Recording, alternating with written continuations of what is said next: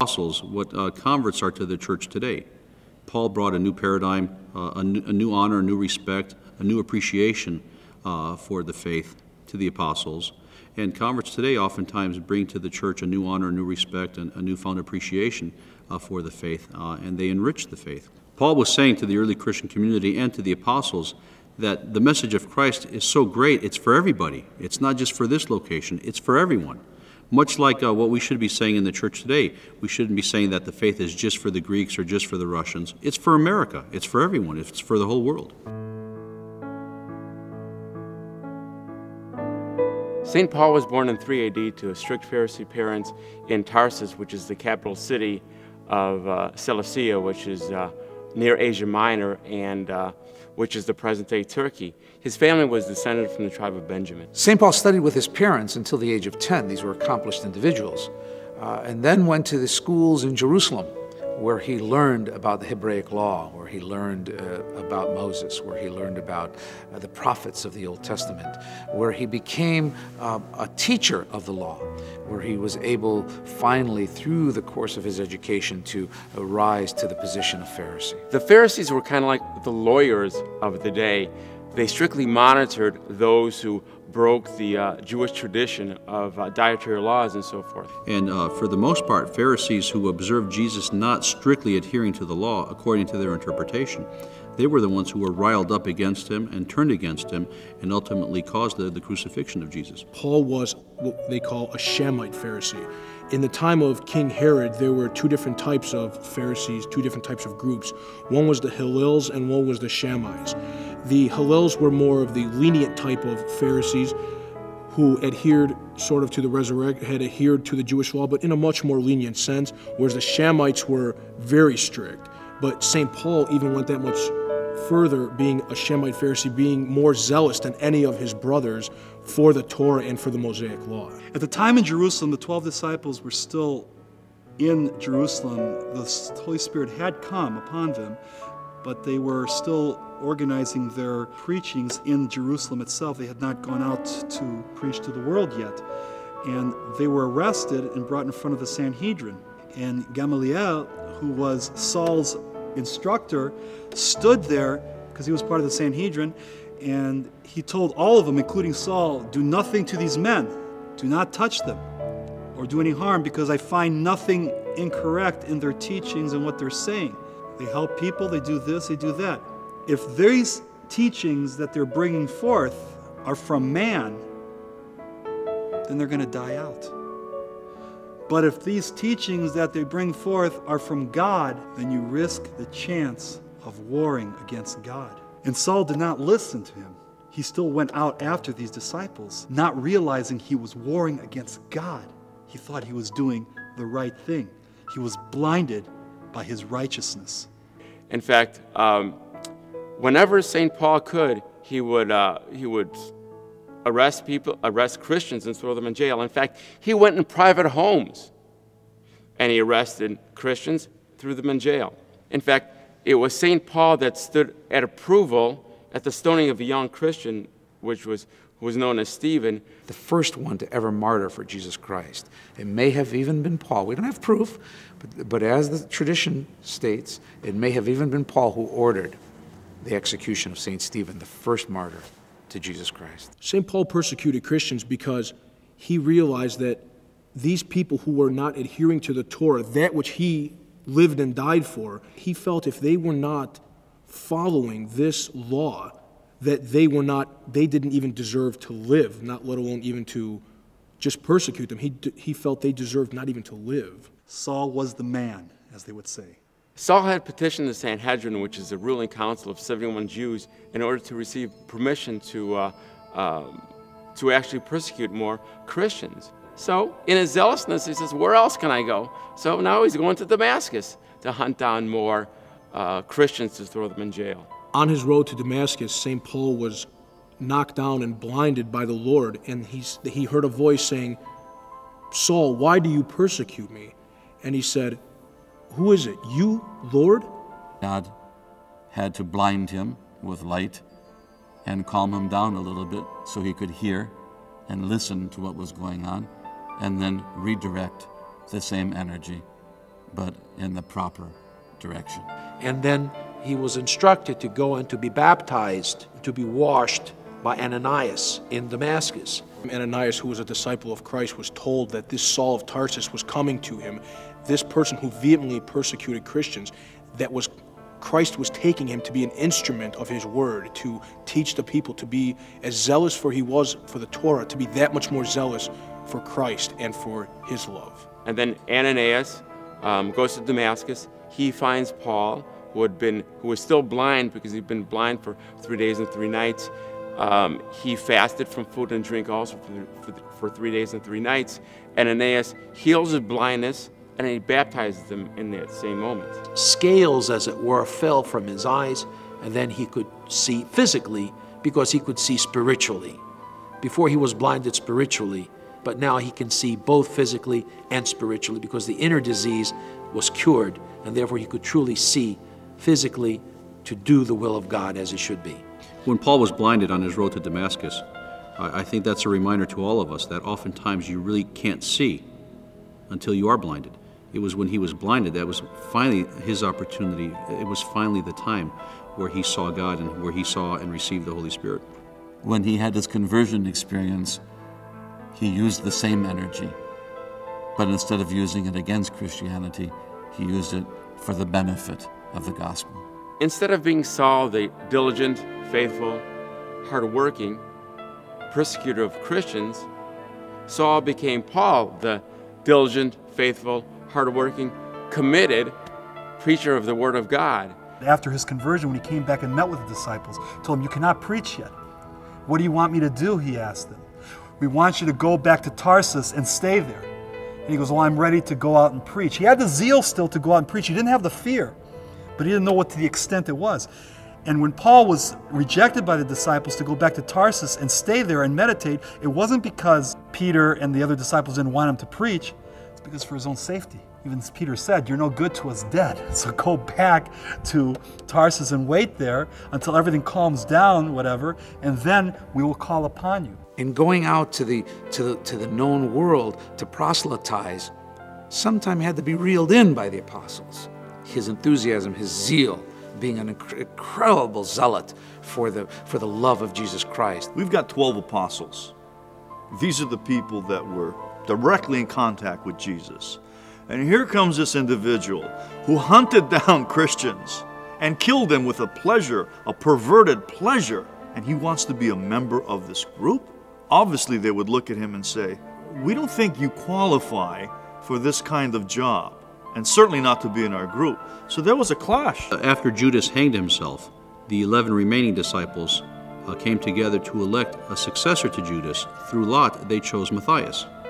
And it's very interesting in the church that uh, Matthias is never pictured uh, with the 12 in the icons of the Pentecost and is not commonly considered one of the 12. It was Paul who's now um, become the 12th. And uh, Paul was specifically chosen by God, not by the 11 uh, disciples, but by God. So that creates an unusual situation that Paul is an outsider uh, to the apostles. At one point, there was great controversy between Peter and Paul. Peter felt that Christianity should be brought only to the Jews. Paul chastised Peter because Peter refused to sit and eat unclean meat with Gentiles, individuals that Paul was trying to convert and bring them into the Christian faith.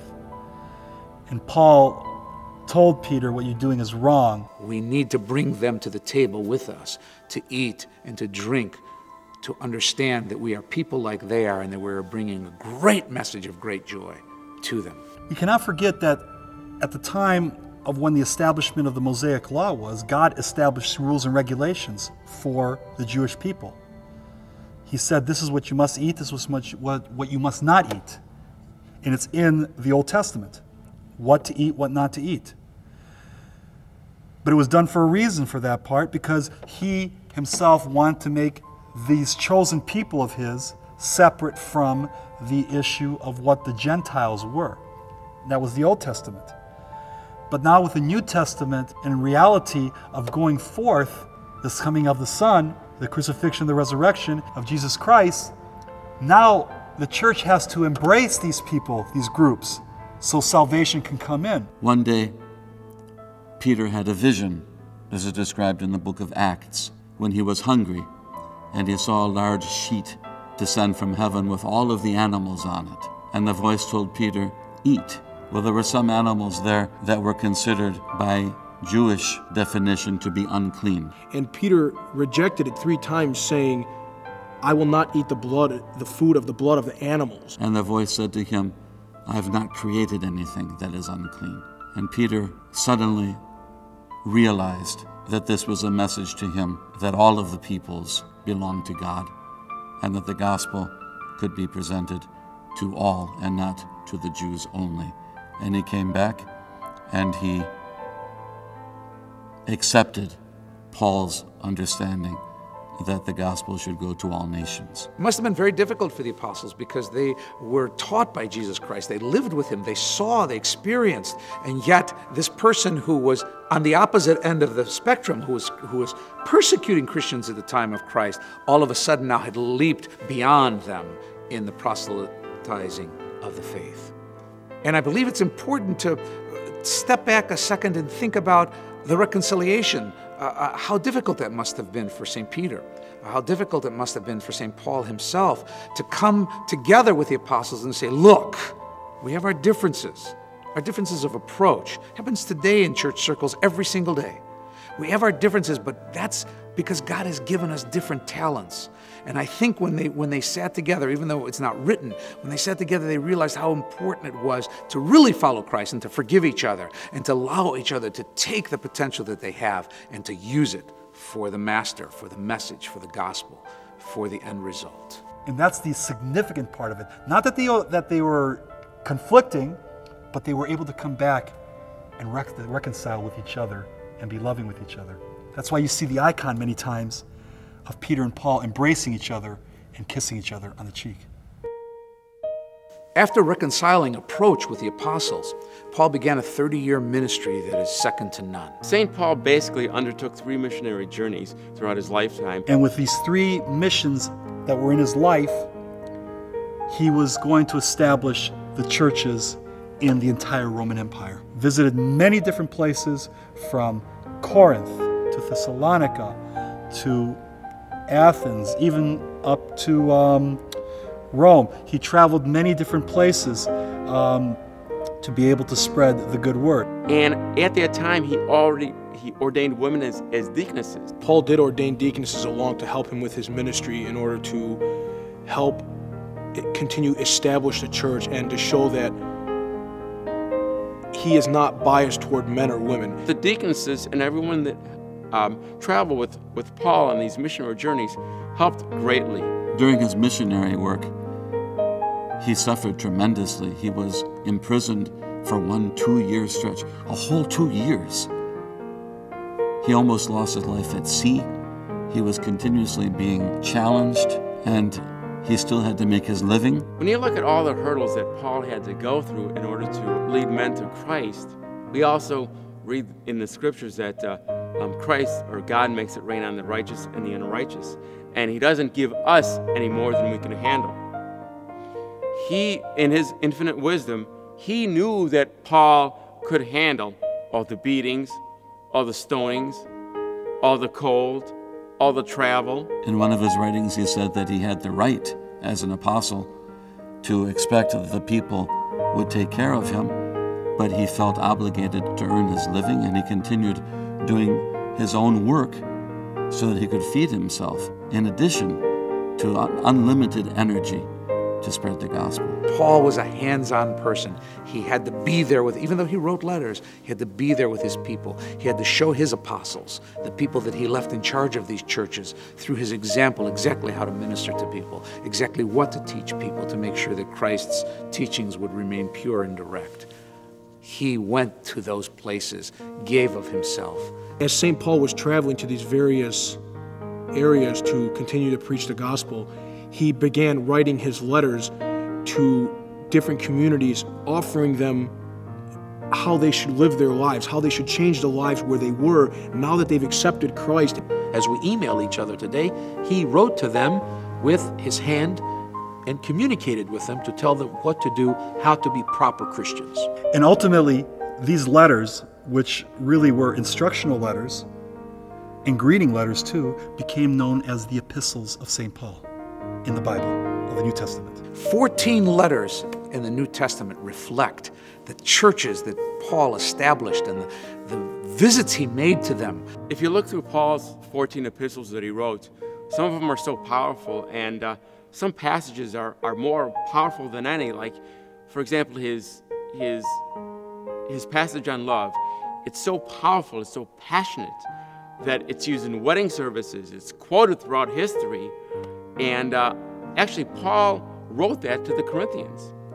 And the reason why he wrote this passage on love to the Corinthians is that the Corinthians were doing something, they weren't loving one another. They weren't expressing the love, the Christ like love, the way we know it should be expressed. So Paul wrote to them and he answered them and he says, Wait a second, guys. Love is patient, love is kind, love is eternal.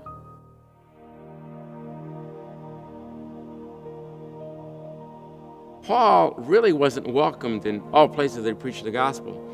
In one instance, Paul went to uh, um, Paul went with Silas to, to Philippi on one of his, his missionary journeys to preach the gospel.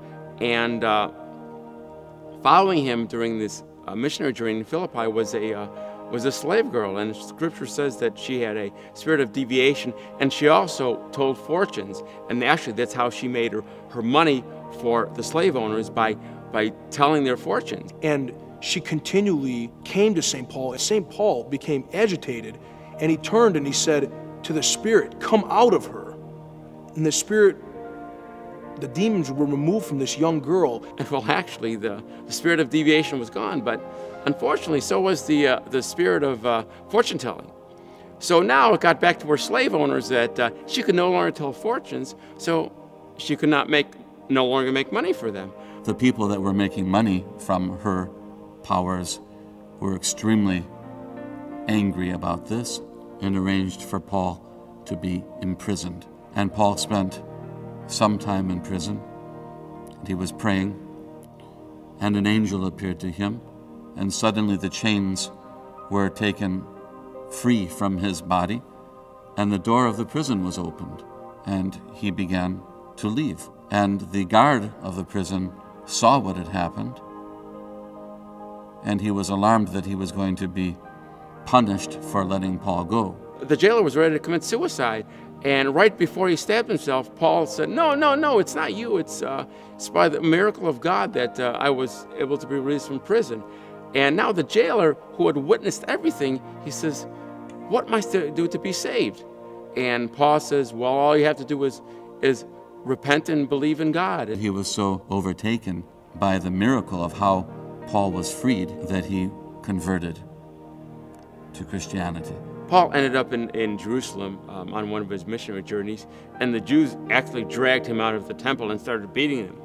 Well, the Roman commandant saw this and wanted to put an end to it, so he figured that he would arrest him and throw him in jail. Paul was brought before the Sanhedrin, who had secretly tried to plotted to kill him. It's interesting to note that the same Sanhedrin that St. Paul had approached St. Paul about persecuting those Christians in Damascus, that same Sanhedrin had him on persecution on account of his own life. Paul was tried, and even though he was going to be cast aside, just like any one of the Christians, uh, they soon realized that this was a Roman citizen, and a Roman citizen had certain rights. The Jews could not beat him or kill him because he was a Roman citizen. He was accountable under Roman law, not Jewish law. And he requested that he go in front of Caesar Agrippa in order to hear his case. Paul presented his case before Caesar and he was acquitted of all charges. He spent the next two years in Rome preaching the Word of God. At that time, Nero was arresting all Christians because he thought Christians were guilty of setting fire to Rome. Nero conveniently um, blamed the fires of Rome, the burning of Rome, on the Christians. Nero was nuts. He was, he was insane. Nero was, was a typical fanatic, extremist, insane tyrant. For example, during the Olympic Games, he went to the Olympic Games and he played. He won every event because nobody dared to run against him. He played one of the Olympic Games and he won every event. I mean, what kind of a megalomania is that? He was just insane. Because Paul was such a leader, he had Paul beheaded, he had him um, uh, executed uh, to show that he was still in power and he was leading Rome and not the Christians. As Paul is being taken to his martyrdom, he meets a girl blinded in her right eye named Perpetua. And Paul says, Give me your handkerchief. And so the girl hands him his handkerchief. As Paul is martyred, as he is beheaded, the blood from his martyrdom is on the handkerchief. And the handkerchief appears in the hand of Perpetua. She rubs the blood of Paul in her eye, and immediately her sight is restored. To show that the, the blood of St. Paul and the ministry he led was truly that of Christ, and everyone confessed, Blessed is the God that Paul preached. It's ironic to note that Paul, at his, his final event, had ended up giving sight to someone just as he was given sight on his road to Damascus. In one of Paul's pastoral epistles to uh, Timothy, his fellow worker in the Lord, he states to him, uh, and this is toward the end of his life I have fought the good fight, I have finished the race, I have kept the faith. And he basically says, uh, Up in heaven, the Lord has a crown of righteousness, not only for me, but all those who love me and love the Lord and love my coming. And if you look at this man, St. Paul, he basically wrote this toward the end of his life, late 50s, early 60s. And through everything that he went through in his life, all the tortures, all the beatings, all the times that he thought be killed, all the narrow escapes of death, that he was homeless for a while, that he was destitute, that he had uh, he walked in cold, he walked in desert. Paul never gave up. Paul gave it 100%. And at the end of his life, he was satisfied with that. So that really tells us, and we really take great comfort in Paul in that whatever you do in your life, especially in our Christian walk, if you give it your all, if you try your best, if you give it 100%, then at the end of the day, or more or less at the, at the, at the awesome seat of judgments, you can rest assured and you can tell Christ, Christ, I gave it my all. I did what I could. I fought the good fight. I kept the faith.